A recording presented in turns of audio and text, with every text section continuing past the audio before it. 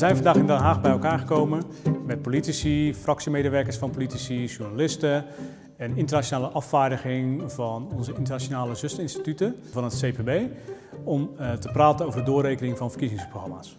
Uh, interessant om te zien dat uh, het Nederlandse voorbeeld ook internationaal toch navolging krijgt. Dus bijvoorbeeld in landen als uh, Australië en Canada, maar ook Litouwen, België. There was seemed to be a, a shared challenge around how to uh, avoid sort of perceived political bias. So I thought that the meeting was an outstanding opportunity to learn about leading practices around the world regarding electoral platform costing.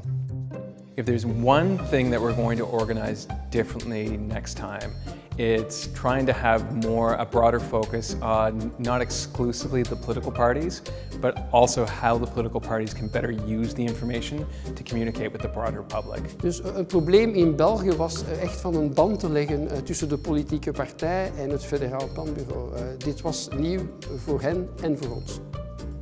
One thing I've learned today is that uh, politicians still like to be in control of information, even though it comes from experts organisations like the CPB and the Australian Parliamentary Budget Office.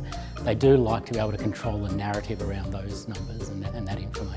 There's a statement uh, that relates to the Australian Parliamentary Budget Officer um, where he talked about uh, the Australian PBO keeping politicians honest.